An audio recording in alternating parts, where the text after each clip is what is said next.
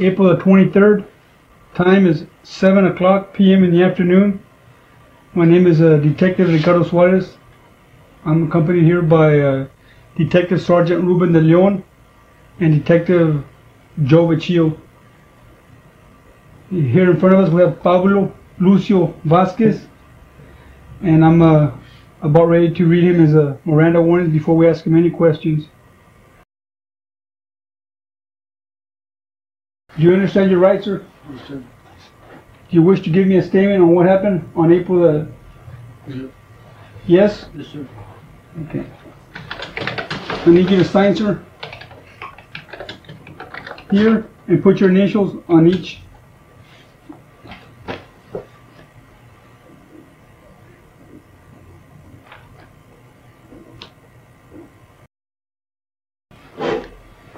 Okay, Pablo, can you tell us uh, what occurred?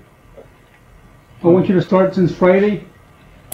This is 18 year old Pablo Lucio Vasquez. Pablo is currently being interviewed regarding the murder of a 12 year old boy by the name of David Cardenas. In this moment, Pablo is reciting the initial moments from the evening of Friday, April 18th, 1998. He is stating that he and his 15 year old cousin, Andre Rafael Chapa, felt the urge to get intoxicated, so the two drove to a party in Donna, Texas. There, the two met up with another friend by the name Derek. At the party, the three passed around a bottle of 40% alcohol, drank several beers, smoked weed, and indulged in powdered stimulants. Then, as Pablo and his cousin decided to leave the party around 12 a.m., David Cardenas followed along. What, what time did you guys go home? It was about 12. I didn't know where that little guy was gonna go. He took off. What little guy? David. I don't know what he's gonna do, so he followed us. He went with us. They gave us the right to the house. And me and Andy were there. He went, he went to the back and went inside. And I don't know, did it back there. I blacked out. I started hearing voices in my head. And I told my cousin that somebody tell me to kill him, kill him. So um, I snuck up on him and I hit him. And he fell down What'd you hit him with? the pipe. Where'd you get the pipe at? It was on the floor, like where he was at. And he looked at me at first, but then and he looked at me too, and like I guess we didn't have no feeling or nothing. Did Andy try to stop you before you hit him? No. Well, he didn't say nothing. Like he just looked at me like, like he felt something was wrong, and so I hit him. And Where'd you hit him at? Right here. Somewhere right here. What was he doing when you hit him behind the head? He was looking at me. And then he said something, I don't know. And I hit him like three or four times. And he was right there. And he was still alive. When you hit him three or four times, where did you hit him at? in the head. He was still alive. And and they told me, you killed him, you killed him. And I go, no, he's not dead, he's still alive. And I got him. And we took him. And Andy had the shovel. And my cousin had a knife in his pocket. Your cousin who? Andy. Okay. and I saw him, and I got the knife, and I cut his throat. And then he was still like talking and stuff. And when I picked him up, he was, I just put him on my shoulder like that, and I carried him, and I threw him on the floor because he was too heavy, and I dragged him from my hand. I picked him up, I dragged him, and he was still saying something, and I picked up in the air, and the blood was dripping, and he got all over my face. So I, I don't know, and something just from me, drink, drink. Like, I took a drink of water in the morning, and You drink? You drunk what? his blood. And I don't know, and my face was cleaned with his blood. And I put him down because I felt weird. I don't know. And then my cousin said he's still alive or something like that. And I'm like, took him across the road in that area where they found him. Okay. And he was saying something. And my cousin got the shovel and hit him like five, six times in the face. All I knew was that, yeah, he really When you hit him on the face, what was the guy saying? What was David saying? He was saying something, I don't know, he was mumbling something. Any words that you can remember? Know, he No. was just saying, uh, like, like, I don't know if he said help or something, but he was saying something. But I heard his, I seen his blood gushing out everywhere. And I started, I panicked. So we took him back there, and we started digging the hole. And the dirt was too hard, so we just dug a little tiny hole, and I put him there, and I was just finding stuff to cover him up with, and we covered him, and I put grass and pieces of wood on him, and by the time I realized I took off his ring, but I lost it somewhere there, and his chain was busted. I threw that away too. Although Pablo stated in this moment that he threw away David's ring and chain, it is later clarified that he either immediately pocketed these items or he went back to retrieve them. And the next morning I woke up, I had, I realized that I had done something bad, and I just wanted to get out of it. And I waited all day there, just thinking about what I had done. After providing a graphic description of the disgusting murder that Pablo and his cousin had committed during the early hours of Saturday, April 19th, Pablo then stated that the two went to sleep inside his cousin Andy's house. They woke up to Andy's mother asking the two why they were covered in blood. Andy replied that they had gotten into a fight, but things were okay. As Pablo laid there during the morning hours, his body and mind began to sober up from the concoction of party favors consumed the night before. His ability to recollect these murderous events became stronger, and he found himself consumed with intense guilt and remorse. He asked his cousin if he should find a way to end it all before having to suffer at the hands of the law and the repercussions that are likely to follow. Andy replied, No. Pablo continued to spiral as he continued to sober up throughout the day, and on that evening, less than 24 hours after the murder, Pablo made the decision to admit to his uncle, who is also Andy's father, that he knows he had done something bad. What what exactly did you tell him? That I had done something bad, that I had hurt some kid really bad. And who'd you tell this to? My uncle, Who's your what's your uncle's name? John, John? Yeah. So you told him Saturday night that you had done something bad? yeah. But then I, Did, Okay. you, did you show him the chain? yeah, I showed him the chain. I said, look, this is what I took away from, but I threw it away at the same time. That that same night I threw it because I was in in the car. I threw it. I touched it. My cousin told me, man, you guys did something What together. what cousin? My cousin Jeremy Jeremy what? Chapa. He asked me, where's Derek? Where's Derek? I go, I don't know. I think he went home. But I was lying to him. And me and my cousin, we knew it that we had killed him. And During the Saturday after the murder, Pablo's other cousin, Jeremy, who is Andy's brother, became increasingly suspicious of Pablo and Andy. He was notified that David did not return home, and he became extremely concerned as to what circumstances may have caused this. He then discovered a small pair of sandals and what he believed to be a small piece of human bone. So what did you do with the sandals? Um, I got some glue from the PCP pipe, the pipe from the PCP pipe. I poured it on there, and I told my cousin to leave. My cousin Jeremy to leave, because he's the one that found them. He goes, who's the these? Who's the these?" And I said, "You know, those are mine." So I got them, and I put some of that stuff on, and I made it.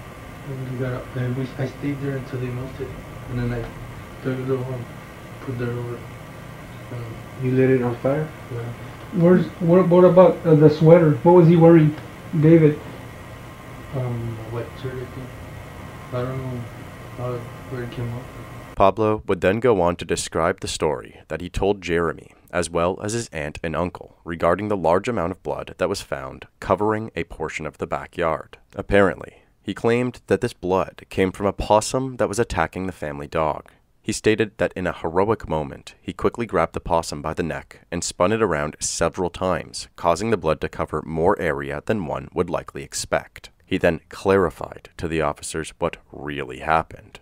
Pablo stated that when he had lifted David onto his shoulder to transport him to the shallow grave, Pablo rotated his body too quickly, causing the open wound on David's neck to separate and dump even more blood onto the lawn. David's body was found dismembered, with one foot, one arm, and half of another arm removed. This led investigators to believe that following the murder, Pablo took additional steps to attempt to dispose of the body. However, when this proved unsuccessful, he created another narrative. When Pablo was asked directly about this dismemberment, he claimed that he had no idea. Who cut off his leg and just put Nobody did. Did It's you- probably an animal that smelled him or something. Cause we didn't. I don't know if my cousin hit him with the shovel all, all over, but all I know is that I just remember hitting him with the pipe and cutting him. Did you see your cousin do anything to him? Well, he was just freaking out on him like, man, we killed him, we killed him. He was just telling me like, man, we killed him. Like, oh. Okay, going going back to when you hit him, when you hit him in the back of the head, did anything The piece of bone popped out. That's when we went back. from to- where? From the back, somewhere right here. And I saw it on the mattress. But I left everything where it was, but I picked that piece of bone up. I remember now, and I put it in my pocket. And the next morning when I woke up, it was there, and my cousin Andy got it and down the toilet. And we did. And, and I'm sorry for killing that little guy, but, um, if I had a chance to go back in time, I would, I would never done it. We were trying to cut off his head. Uh, we were, they were trying to cut off his head with the show. Kept hitting him and hitting Who was? Me and I did because we were like we were trying just to it off. What, what was your reason for trying to cut off his head? The devil was telling me to take it away from him. Who was? The devil was telling me to take it away from him to keep it, to keep it, and it couldn't come I was just freaking out because I was hearing that. And what about Andy? What was he hearing? I don't know. He was just like I don't know. He was just I don't know. He was just like going with it too. I guess. Did Andy drink blood? No, he was just he threw up because he saw me doing. it. Did you go back the next day on Saturday to go see him? No, I didn't go back. You never went back after that night? What about Andy? Did he ever go back? I don't think so. Like we didn't feel nothing that time because we were all f***ed up. We were both the malls and and drove out. How did you guys pick out the spot? I we just I just walked over there. I don't know. I just walked, just walked in, and and man just put him there. We put him there. Started digging and, I- and, I couldn't I couldn't do it anymore because my it was messy. I was sweating out the blood and like eating. I was realizing I had done something messed up. And, and I still kept hearing that that word. People just like I don't know. Like one side of my head telling me you did it wrong, you it. The other side go ahead, keep doing it, keep doing it. They telling me get kill him again, keep take his head off, keep doing it. Kill him, kill him.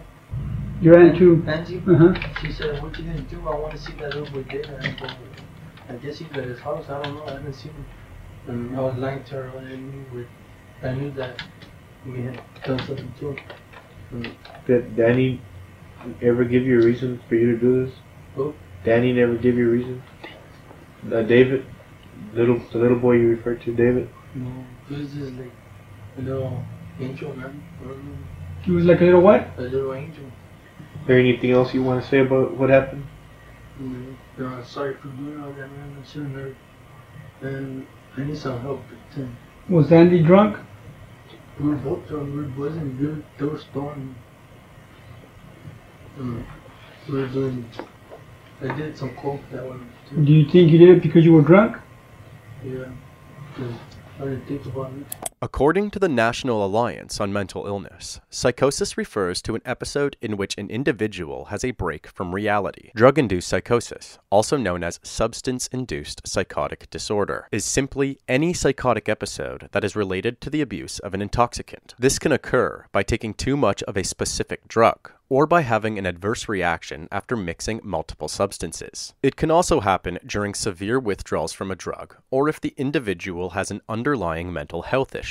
Though it's not fundamentally accurate that taking any kind of drug can suddenly trigger a new and severe mental illness, it is well documented that mental illness is a predictor of substance abuse, and someone prone to psychosis can be triggered by becoming overly intoxicated. When it comes to non prescription intoxicants, the likelihood of psychotic symptoms appearing and which of these symptoms are being experienced varies from substance to substance. For example, Taking a large amount of cocaine all at once can cause psychosis within minutes. It is also well documented that psychosis from cocaine or amphetamine use typically produces delusions or auditory hallucinations. In the case of Pablo Vasquez, it is entirely possible that Pablo may have been entirely truthful regarding the state in which his mind was operating. He may have been experiencing some form of mixed drug induced psychosis. However, this does not simply provide this scumbag an excuse for brutally murdering an innocent 12 year old boy. A deeper analysis of this case and of Pablo's mental state has been completed,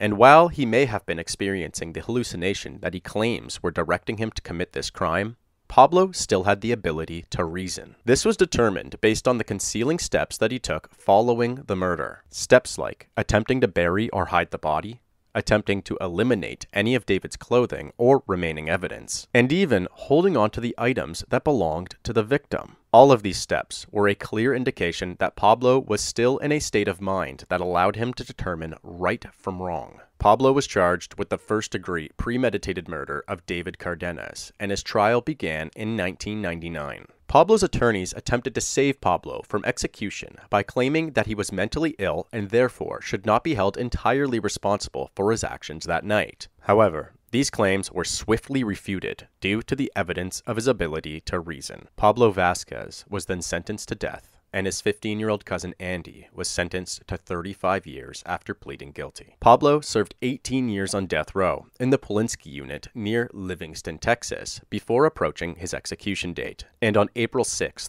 2016, Pablo Lucio Vasquez was executed by lethal injection at the Huntsville unit in Huntsville, Texas. He was given a chance to say any last words. Pablo said, I'm sorry to David's family. This was the only way that I can be forgiven.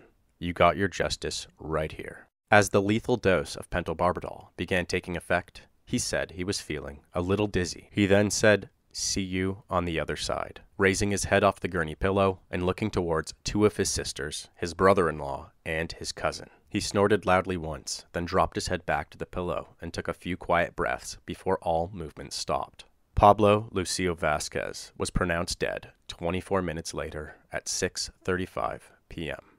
This execution marked the 6th in Texas and the 11th in the United States in 2016.